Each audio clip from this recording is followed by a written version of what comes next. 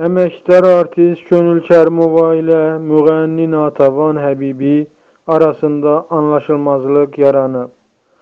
Biqaz Qafqaz İnfoya istinadən xəbər verir ki, buna səbəb imicini dəyişən Natəvanın Kərimovaya bənzədilməsi olub. Buna əsəbləşən Həbibi ATV Maqazin onlarla proqramına mövzu barədə açıqlama verib. Məni Könül Kərimovaya bənzədərək aşağılamaq istəyirsinizsə, ona zəng vurun, cavabınızı alacaqsınız. Könül Kərimova gözəl xanım və anadır. Elə bil ki, məni təhqir etmək istədilər.